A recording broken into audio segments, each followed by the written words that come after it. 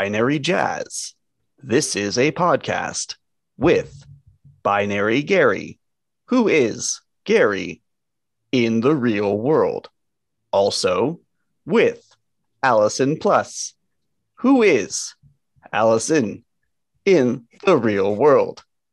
Also with Jazz Seat 3 Quince, who is Chris in the real world. Welcome. We all talk like computers here. I was really trying to make it through that whole thing without laughing. Uh, um, that was an excellent intro. I admire your commitment. Yeah, it, it's good. Yeah, I it wasn't really planned. I had it, there was no foresight there. There was just it was just like it was a thing, and I went with it. And then I got uh, and then I got to me. Then I got to my my handle. I'm like, how would a computer say jazz sequence with a three in it? that would jazz at three quins.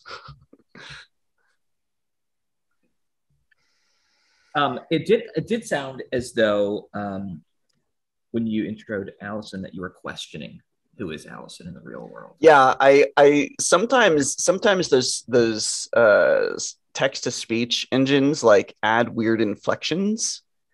Um Yeah. yeah. I, I thought We I live thought in the city of Concord, according to a Siri. Which, uh, I mean, Maybe I too too. am questioning who I am in the real world. So, it's just not fair for a computer to do it. Like yeah, I've got this. I don't need to outsource that to a machine it's yet. up for grabs. I think it's okay to question that who you are in the real world. so What's the how- phrase that people say where they're like, "I'm not struggling with anxiety. I'm, I'm like acing it. I'm just like, I'm excelling. I'm excelling at anxiety." Fantastic. That's so good. Yeah. Yeah. I'm an expert. So uh congratulations, Gary, for uh your uh ground control bot being mentioned on Y Combinator. Um, I know it was sort of an afterthought, but it does feel like like this is it. You've made it. You've, this is this is your claim to fame. Uh, and it was Wow. good that it happened That's it. after you That's fixed that that weird uh, logging bug. Yeah, it's it's a pretty good thing that I uh yeah, I don't I don't keep a 9.7 gigabyte log file any longer on Yeah. a stupid side project. Uh I you know the longer I write code, the more it's always something silly that breaks. Like I'm actually thrilled that I was able to log into the server. I've run into times where like the the the file system is so full that you can't log in. So that was neat that I could log in and delete that file. I could. It was so full that I could not. Um, I couldn't ls directories, so I could change directories, but I couldn't ls directories Yeah. because there was not enough memory available to ls apparently. So I'm like, oh god, I need to hurry. Like I'm about to lose the Need to ability to do anything here. Yeah, yeah. It's like a if it was a video game, you'd be running through a hallway and and columns would be like crashing down behind you. Have you seen the stupid television show? That's what hacking looks like. Yeah. yeah, absolutely. Um, oh no, now I responded. I forgot the the show. It's terrible. It's a, it's a stupid show. It's a reality TV show, mini golf. Um, Rob Riggle is one of the announcers. It's absolutely ridiculous. You can jump in at any point. There's no like there's A no reality continuity. You don't TV have to show about mini golf. Yes, I, we, we have to Google golf? it. What's that? Just mini golf? Uh, it's it's like people are competing against each other. Uh, Holey Moley, it's called. Um, I highly recommend you watch one episode. You don't need to watch any more because it's pretty much the same jokes for every episode. um, it, it maybe not, but there there it's like yeah, that's it. Watch one episode. I won't judge you if you watch more, but um, uh, where was I going with this? Oh, there's a hole uh, called uh, hole number two where you putt and then uh, past a bunch of porta potties, and then you have to run after your ball to the rest of the course. Um, the porta potties randomly open and knock you into the water. Uh, anyway, that's where I was headed. It's the same. It's the same course. Yeah, yeah. Yeah. They don't- That's they don't that's- ever change of the course. American Gladiator slash mini golf. Yes, that's exactly what it is. Yes, it. I said that to Rhonda. I said American Gladiators paved the way for this, thankfully, uh, which meant we also had to go watch an episode. No, I believe we watched two episodes of American Gladiators. the nostalgia was hitting hard. Uh, we needed to see some of the other gladiators. They didn't. They weren't all in the first episode we watched. Um, wow. Can can you can you can you imagine like someone like an alien? An alien arrives on Earth and they're like, you know, they've sort of like understood like the whole like, okay, well, biological beings need energy, and so you consume food and liquids, right, or solids and liquids generally to create energy, uh, and and you excrete the waste, whatever. Um, you have to recharge, so you sleep at night, blah blah blah. Uh, and then we start talking about entertainment. You're like, oh, yeah, let me show you American Gladiators. Like, what context do you is is already assumed? Like the start of that, like, like, like if you just saw that and you had no other context, the first thing you would think is like, oh my gosh, is this are these like gladiators? Like, are they Mhm. employees of the government because it's American gladiators. Yep. Like, is this the way we punish criminals, or are is this the way like you handle election? Well, actually, it turns out yes. It fuck, fuck.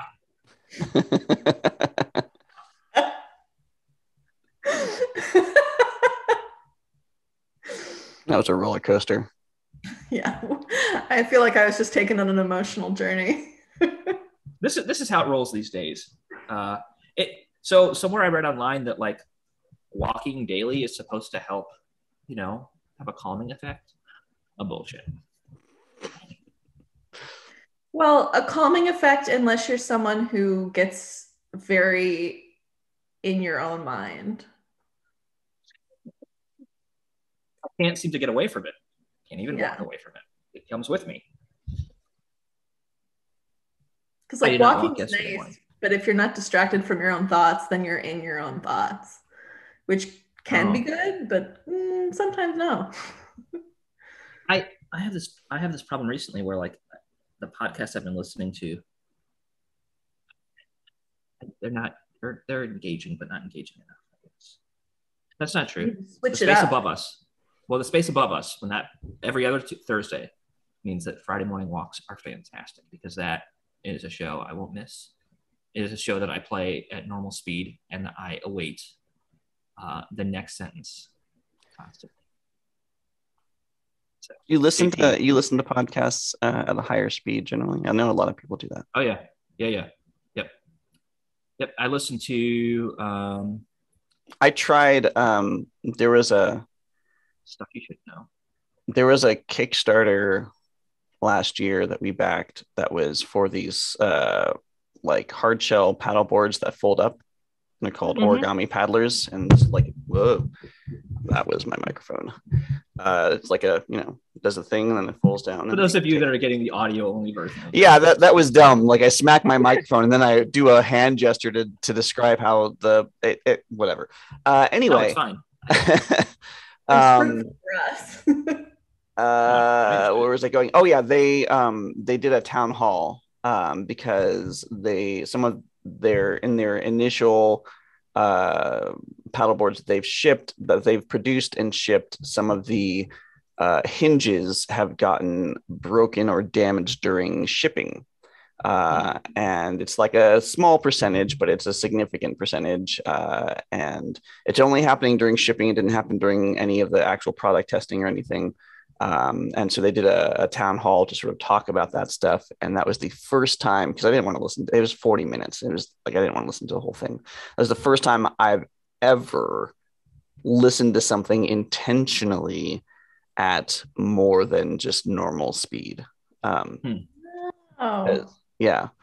I I- like i know it's a thing that people do but it's not a thing that i do. And that's that's including watching 300 episodes of uh, critical role each of them being an Yeah. average of like four to four and a half hours.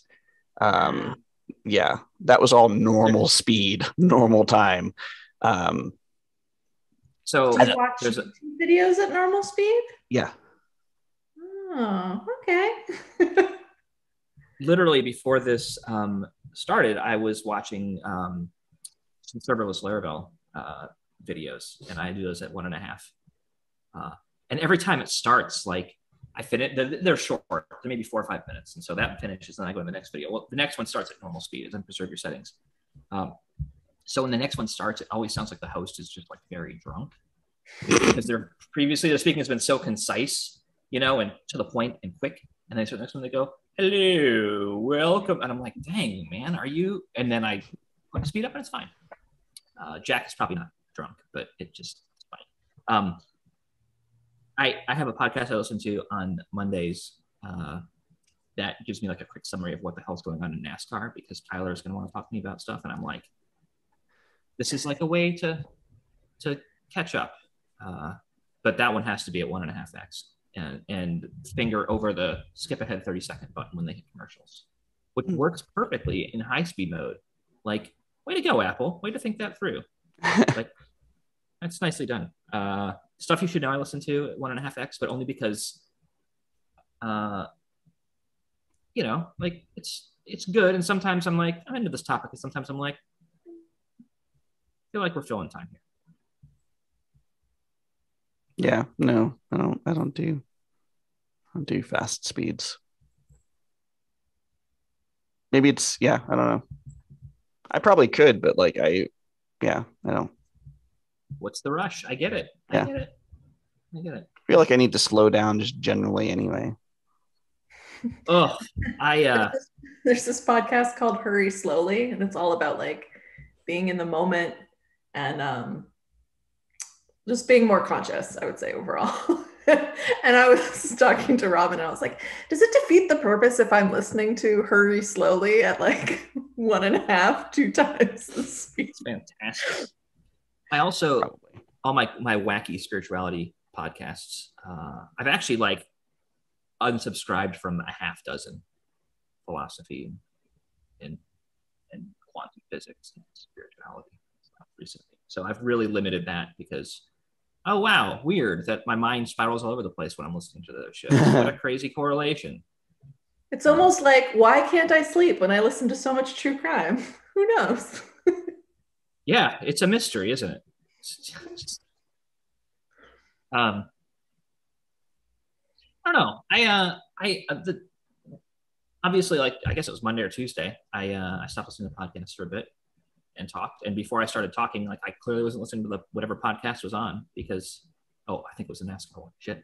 Um, because I wanted to talk about something else anyway. Um, and then today I got to the part of the walk where it's like a half mile through a heavily wooded area. Uh, I, I often like turn it way down during that point, and then I today I'm always like, why? Like, because I'm not listening anyway at that section of the walk. So just I just put my earbuds out for that half mile, uh, you know, and then put them back in when I got to the section near the road that's a little less engaging. Do you have a topic? We do, although, well, it kind of fits. It kind of fits. It past Allison kind of threw me a hail mary on a post it. Um, it's um, Way to go, past Allison. Way to go, past Allison. Is this, is this a pre is this a pre move past Allison or a post move past Allison? Um, pre-move because I found it in a box. uh, Nice. like.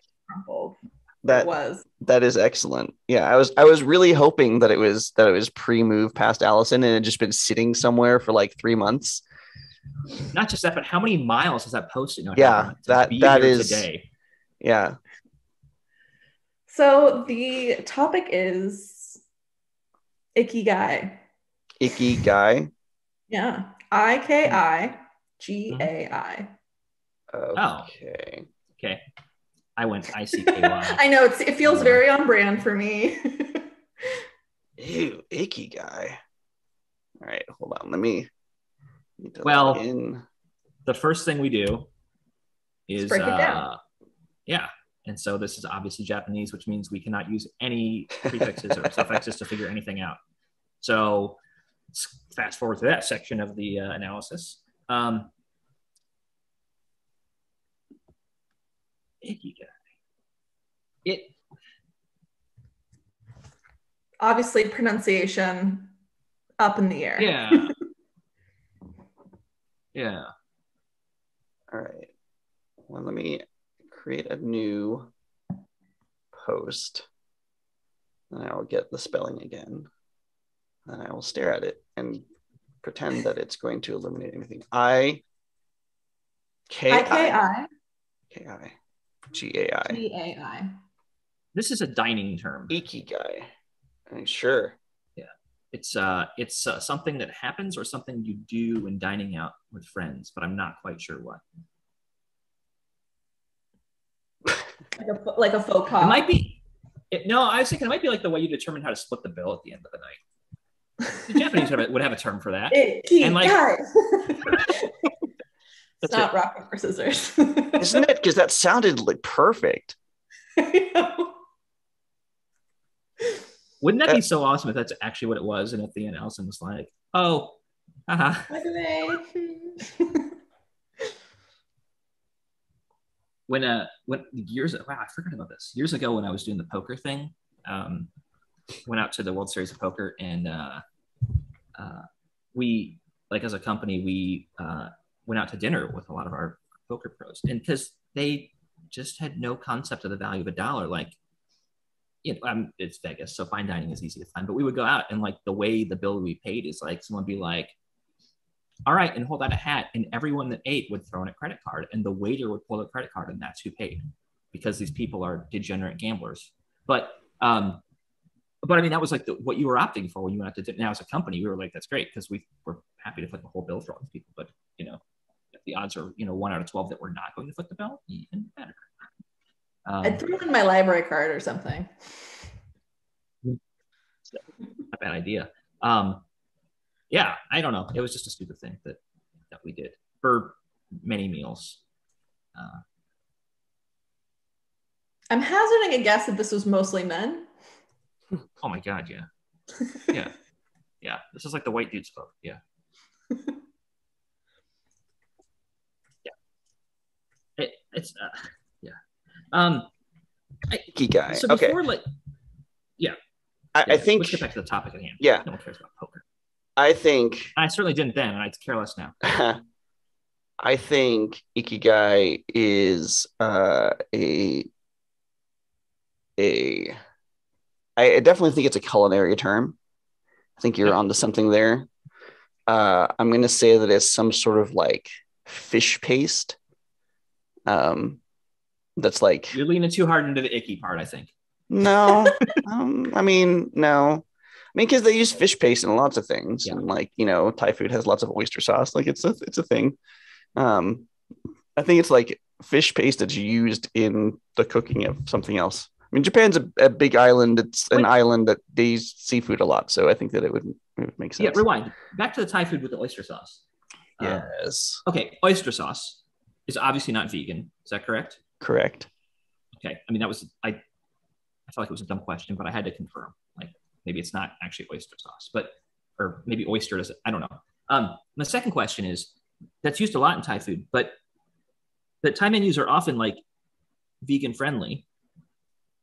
Do you specifically need to order and say like, I would like this vegan when you order Thai food, or Yes, either well, either we get the stuff that doesn't have oyster sauce in it. If there's something on the menu that says and it's made with oyster sauce, then we just avoid those things, or we specifically say vegan. Um, which, if they understand what that means, which a lot of places do, um, they will make it just without the oyster sauce. I don't know um, what the oyster sauce adds because I don't know that how much Thai food I was eating before I was vegan. I don't know that I was eating very much Yeah. Thai food before I was vegan. So I don't I don't know what I'm missing. um But I had a, uh Penang curry the other day and did tofu, and I I don't. I'm wondering now, like, was there oyster sauce in it or not? I have no idea. Probably not. probably not. curry, but It's usually You know? it's usually I usually see it in like stir fried stir fries and like uh noodle things. Mhm. But not all the time. Yeah. All right. Thank you for that sidebar. And sometimes they use like an oyster mushroom sauce. That's Mm. that's vegan. Yeah, I do think that there's like a, a vegan a vegan oyster sauce that is um Got it. but again, I don't know what I'm missing. Basically, just adds like a saltiness. I don't think it's like Yeah. An earthy. Well, I guess it would be earthy since it's in the ocean, but an earthy salt. it'd probably be unami. Yeah. Yeah. Yeah. I love that at Trader Joe's you can just get like in the spice section you can just get like a container of that. It's like mushroom powder or something. I don't know.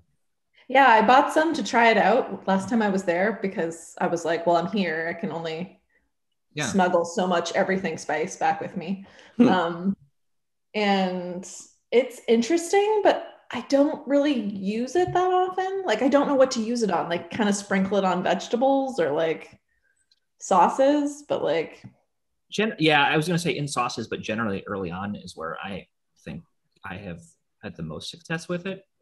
yeah, But that's a really relative term in my case. success. Yeah. Yeah, when the window only opens this much, like, um, I did make tomato sauce last week though, and it's fine. and it's fine. It's not. It, it's. I mean, it's better than what you would get out of a jar, but it's. You're not like, oh, this is amazing. You're like, eh, so no one is like, oh, it's just like my Nona used to make, or like, yeah, that's accurate. All right. So Gary, what you do uh, is you get two cans of red tomatoes, or you know, just a bunch of actual tomatoes. Uh, you you put some oil and garlic in uh, a pot, and you you uh, you heat the garlic up until it's a little bit uh, roasted, and then you put the the tomatoes in, and then you put an amount of basil and oregano. Just like sprinkle some of that stuff on Mhm. as much as you want. And oh no, with with the oil and garlic, you put in chili peppers um, to taste, however spicy you want this this stuff. Put the chili peppers in with the garlic, then you put the tomatoes in, and and then the stuff, and then what we do, and that makes it really good, just sort of a spicy sauce. Um, then what we do is um, we make it a rosa sauce. So we do like a cream sauce, uh, like uh, so we soak cashews and we blend them up with. Um, I put in like nutritional yeast, a little bit more basil and oregano, um, and just blend it up, and then pour it in. And so now you've got sort of a, a pinkish like a rosa Mhm. sauce, uh, and then you just dump a whole bunch of like uh, veggies in there. Like I usually, I usually cook the, I usually fry the veggies up, and then just whatever, whatever we have in the kitchen this week, throw it in there, and then put it on a pasta, I uh, tofu. I had two big tomatoes, not that big, but big tomatoes from my neighbor's garden, and probably like three pounds of cherry tomatoes that I put in. And I did uh, oil and garlic. Um, I did.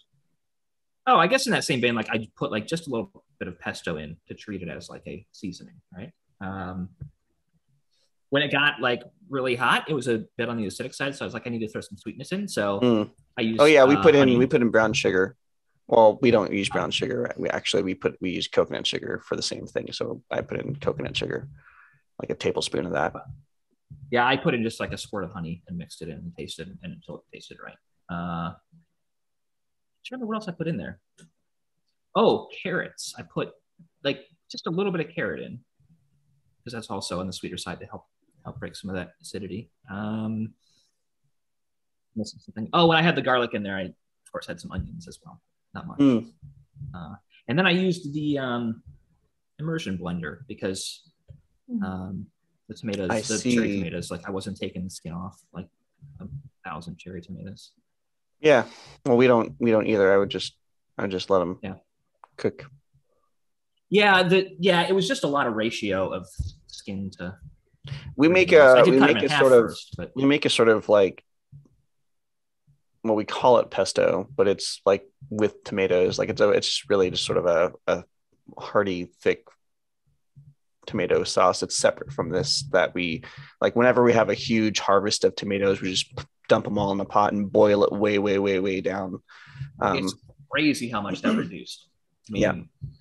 I'm like, oh, this might I might have a problem here, like right at the top of the pot. And by the time it was done, it was you know Yeah. further way full. So Yeah. lesson learned. I will uh I will like go with way more tomatoes next time, uh, but only if I'm not going to buy tomatoes for that. Once I can get it for like super cheap. We picked up a, our CSA box yesterday, and there's a cucumber that's the size of a small boa constrictor. and I don't know what I'm gonna do with it because I'm like, I like cucumber, but like I'm just like, this is a lot. It, it's gigantic. I'll take a picture with like something for scope for size. Yeah. It's like carrying a small child. You're yeah, we uh we came back we came back from our our trip and we were looking in the garden and we had a couple very large uh um cucumbers armenian cucumbers yeah armenian cucumbers um and yeah so one of them is like that big and one of them is like a little bit smaller and um and then we usually do like lemon cucumbers which are you know just small small round uh and we had a couple of those but the armenian cucumbers were doing really well while we were gone um so we had several very large uh cucumbers and they get curvy. Anyway. Yeah. it's just like it's like sitting on the counter, and every time I round the corner into the kitchen, I go, oh. snake. uh, and Right, that so- is ikigai. When you Yeah. round the corner and you see a cucumber sitting on the counter, and you're like, You're "Oh, star- that's You're startled by produce. Startled by produce. Did I tell you about when I took Charlotte to the grocery store with me recently and they had like the water turned on? And I'm like, oh, the vegetables are taking a shower. And she was just so fascinated by it. It was great. There was, it happened to be someone like working there who was just cracking up. She's like, were they dirty? and then it turned off and she's like, she said something about it not being long enough to get clean. I don't remember what, but it's, uh, I mean, astute. Yeah. Yeah. Yeah. That's accurate. Yeah. So uh, I ha- I can tick off Alaska on my uh, states visited. Uh, Yeah. yeah, that was fun. One of the Uh, hardest ones to reach. What was that? Yeah. One of the most difficult ones to reach.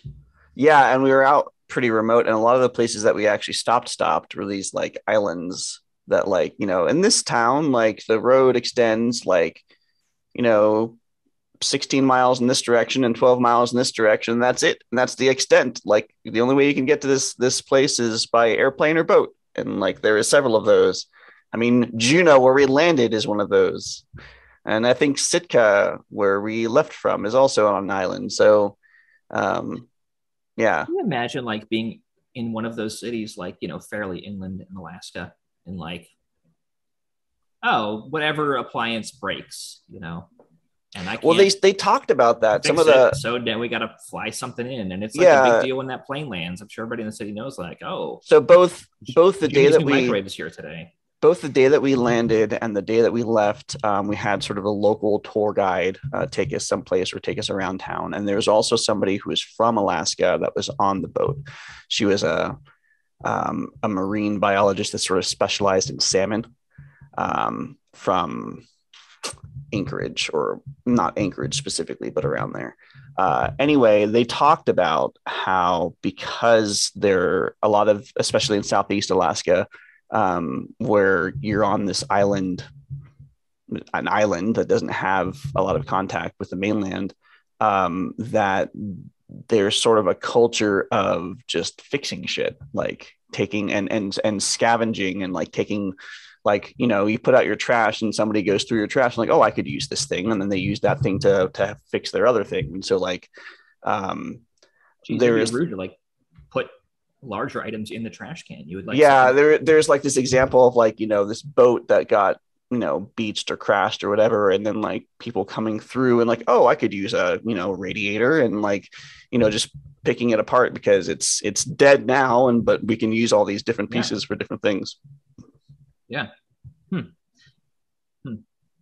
so yeah i think Yeah. i think that's very much a a, thing um because they they don't have access to things and, and you know, I was, I was thinking about like um like buying like buying a car Hmm.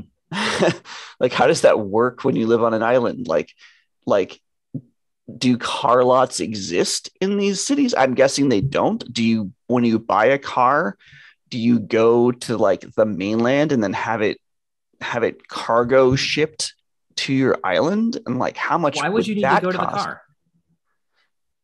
that's a fair point too Why? Why Like, would I- you the, need? the last the last three cars I bought? Like I didn't test drive. I just had them shipped to me.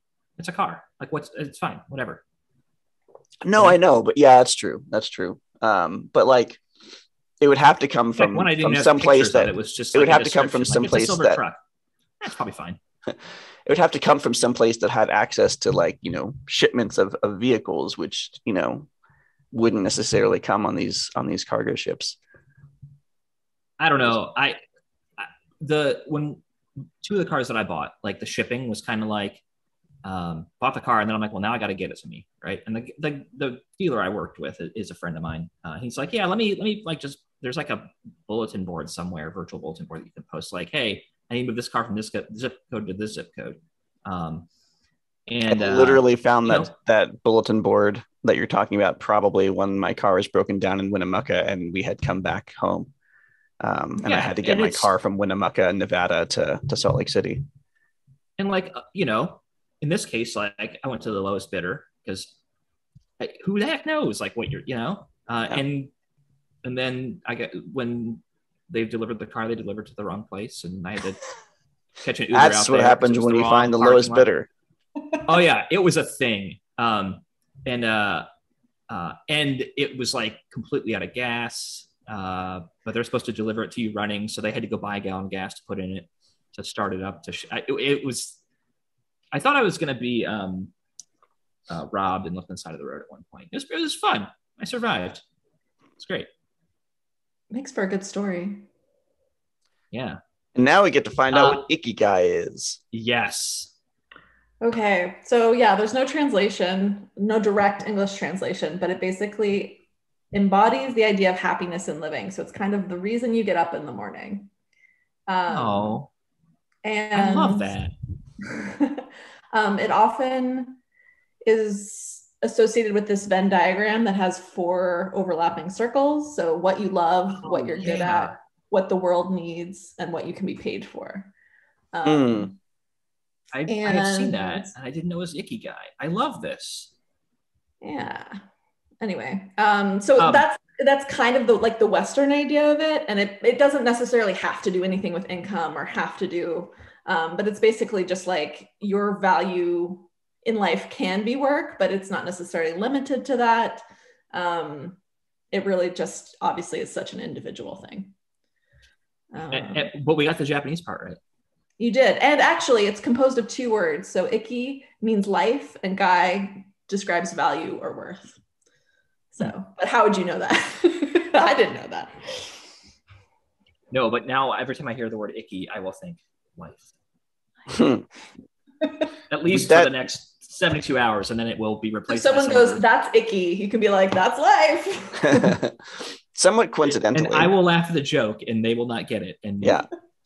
Uh, we started watching because it's on Netflix now, and uh, a show called Cat People, um, and uh, partially, I was inspired to to start the series with with the kids because they're one of the episodes is about the Acrocats, which we uh, went to see live uh, before the pandemic, uh, which is really Oh, cool, wow. and it's like a bunch of cats that do tricks.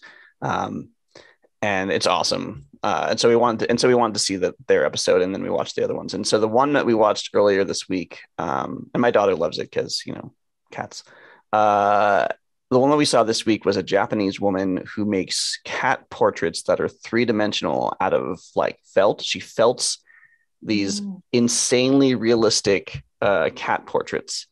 Um, and it and she she was an artist, like you know, went to art school and whatever, and you know, wanted to be a painter and then wanted to be a photographer and like never really found her place, and like then like this becomes her place. Um, and it was really sort of interesting. So it's like interesting that like we have this this like Japanese con- concept of of uh, I don't know a well uh, a fulfilled life, and and that's sort of like that that story was kind of about her finding finding her place and finding the thing that that gave her um, a sense of of worth and, and value. 1.2 miles that way is a cat cafe. It's a cat what? Cafe. Cat cafe. Cat- You can go in, you pay and hang out with cats, which Yep. like I know of in Japan, obviously, but for it to be in the city of Concord, like it's Okay. We have a cat. We have a cat All right. cafe. Um, it's called um, Tinker Cats. I mean, Tinkers. Tinkers. really need is one Tinkers Cat Cafe. a lot of cats and a coffee Yeah. machine. to have a Right. Yeah. Like, This place let's also has down beer. the like the bar. Does, so um, like you can go get a beer and pet cats and Yeah.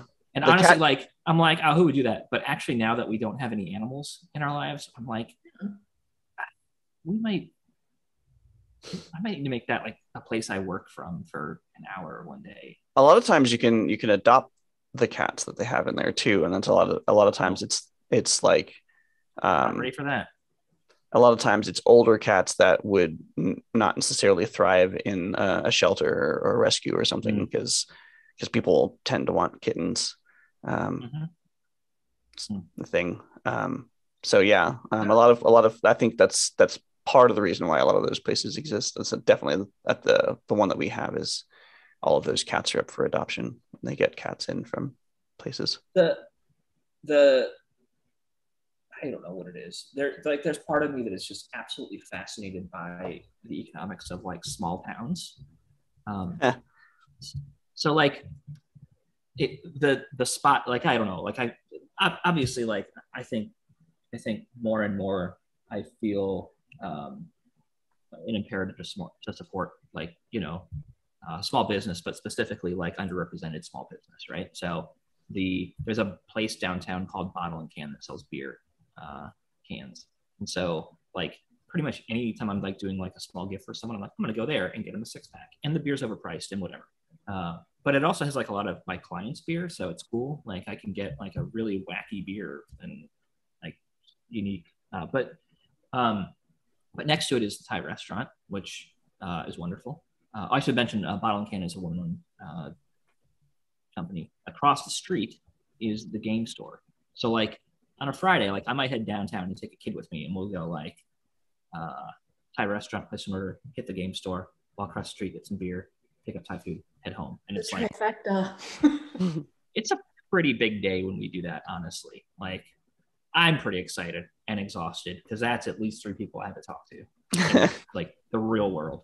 Uh, so it's, uh, but it's also like, I, like you can parallel park right on the street in one in front of one of these places, and it's like, you know, there's the stupid old Coca Cola advertisement painted on the wall, like on the side of this brick building, and you know everything down there is, you know, 75 years old, and you know it's it's it's weird. It's weird. Oh, the bookstore. I forgot.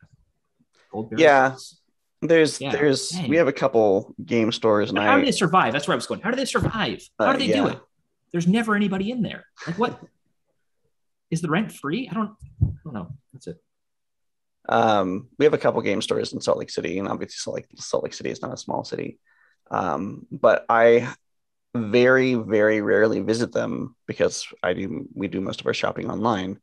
Um, so last year, when uh, Wizards of the Coast released a new book that I wanted, I pre-ordered it from mm, a friendly local game store, and actually physically walked into an actual building and had them hand an actual book to me uh, and engaged with real people in the real world, and it was actually kind of cool. Um, so uh, this fall, with the with the books they're account. releasing this fall, I, I might I might do the same thing again. I have a loyalty account. I mean, once per season isn't gonna isn't gonna hurt you. Yeah. Yeah, well, it's tough. It, you know, there's there's like you know they're releasing three books like October, November, and uh, September.